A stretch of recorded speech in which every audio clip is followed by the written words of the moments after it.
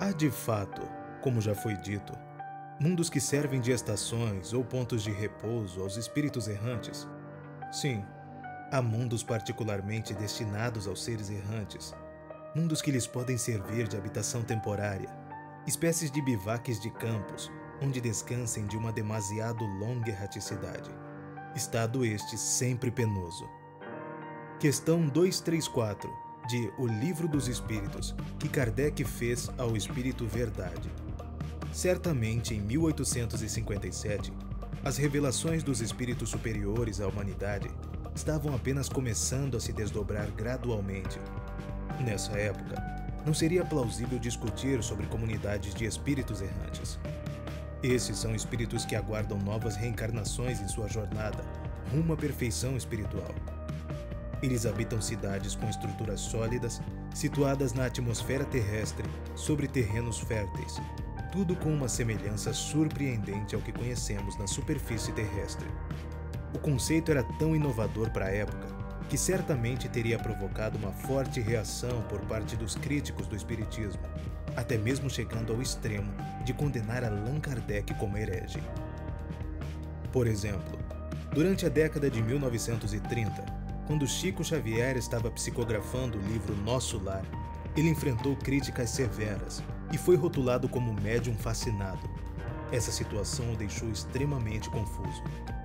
Mas, para esclarecer todas as dúvidas de Chico, André Luiz o conduziu a uma experiência fora do corpo, onde pôde ver nosso lar de cima. Lá, Chico teve uma visão panorâmica da cidade, permitindo-lhe confirmar a veracidade daquilo que estava psicografando. Em um momento de clareza, Chico compartilhou que o que testemunhou naquela noite está precisamente representado no mapa detalhado da colônia, elaborado pela médium Eigorina Cunha e apresentado no livro Cidade no Além. O livro Memórias de um Suicida, relatado pelo espírito Camilo Cândido, pela mediunidade de Ivone Pereira, apresenta a colônia correcional da Legião dos Servos de Maria, uma obra evangélica e assistencial que atende suicidas. Os líderes e colaboradores desta colônia atuam sob a orientação e proteção de Maria Santíssima, sua mentora espiritual e guia supremo. No coração de uma paisagem sombria e envolta em nevoeiro, Ergue-se uma fortaleza cercada por muralhas que se estendem como sentinelas protetoras. O ar é impregnado de uma atmosfera melancólica, como se um manto de neve eterna tivesse envolvido toda a região em um abraço gélido. Apesar da névoa densa, vislumbres de luz e esperança ainda conseguem penetrar, como raios de sol rompendo as nuvens escuras.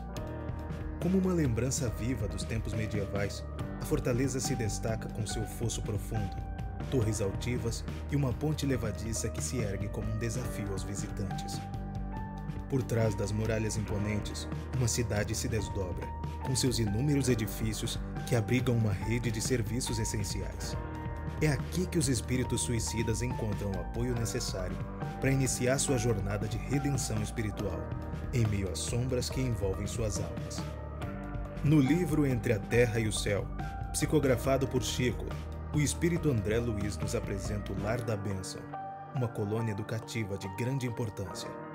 Esta colônia, localizada no plano espiritual correspondente às terras brasileiras, desempenha um papel primordial como uma escola para futuras mães e um lar para as crianças que retornam após o desencarne.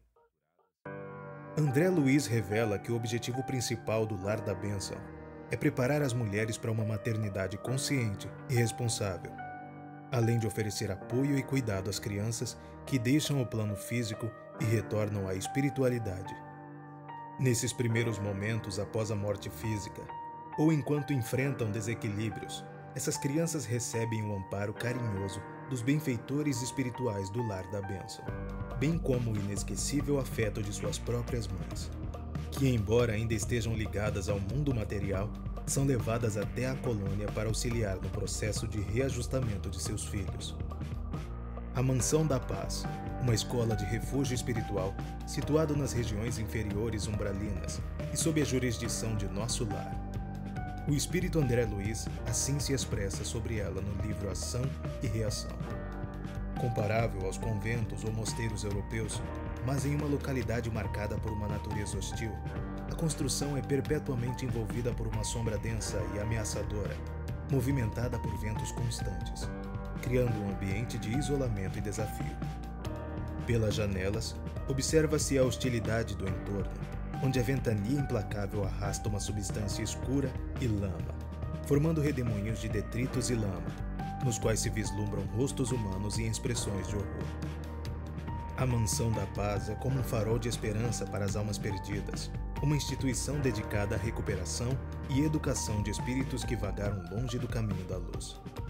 Com seus vastos corredores e aposentos iluminados, não se assemelha a um lar de sofrimento, mas a uma escola de almas, onde cada canto ressoa com lições de amor e perdão.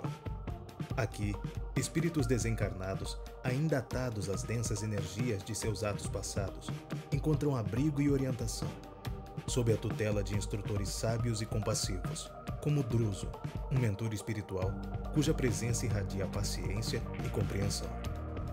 Já os postos, ou núcleos de auxílio, estão situados nas esferas inferiores da região espiritual. Representam um campus avançado de uma colônia espiritual. Conforme nos informa Conan Doyle na obra História do Espiritismo, os espíritos esclarecidos e devotados ao bem realizam nessas localidades trabalhos missionários, caracterizados por grandes dificuldades e perigos, semelhantes aos que rodeariam um homem que tentasse evangelizar os mais selvagens grupos étnicos existentes na Terra.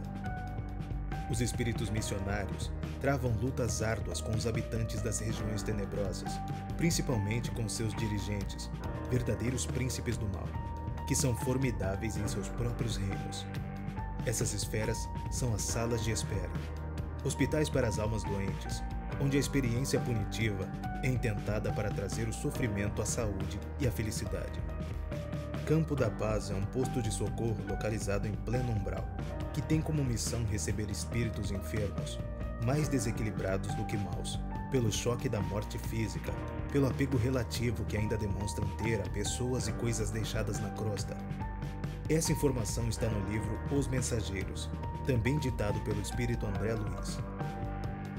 Nesse posto, os desencarnados são recebidos, tratados, reajustados e depois encaminhados a outros planos. No núcleo de auxílio, é comum encontrar espíritos que chegam em estado de completa desorientação, desconectados da realidade do ambiente ao seu redor. Muitos deles permanecem em um estado de sono profundo, incapazes de compreender ou interagir com o que está acontecendo à sua volta. Em meio às sombras mais densas, onde o sofrimento e a aflição se entrelaçam, emerge a Casa Transitória de Fabiano. Essa instituição móvel é como um farol de esperança, uma luz que brilha nas trevas, oferecendo auxílio urgente aos espíritos perdidos e em dor.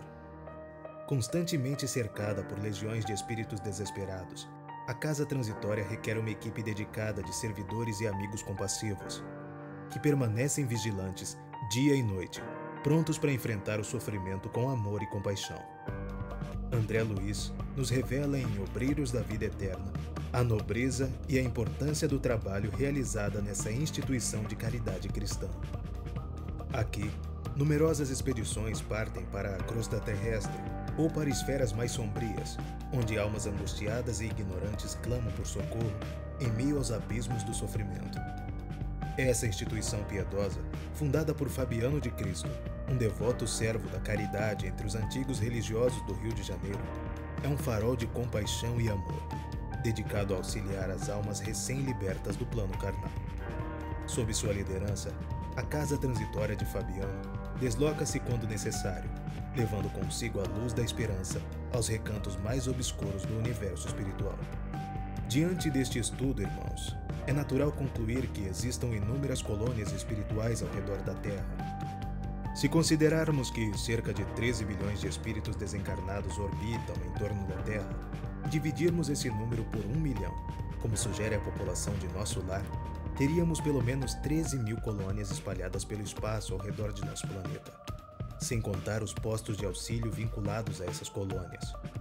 Quanto à busca pela validação científica da existência dessas colônias e postos de auxílio no mundo espiritual, é importante lembrar que se Allan Kardec dependesse dessa validação para publicar o Livro dos Espíritos, talvez ainda estivesse aguardando até hoje.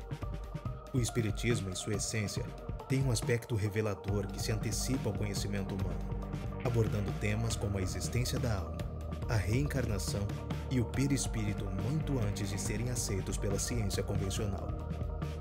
Com tantas revelações sobre as colônias e postos de auxílio no mundo espiritual, capacidade científica um dia será capaz de validar essas experiências espirituais tão profundas?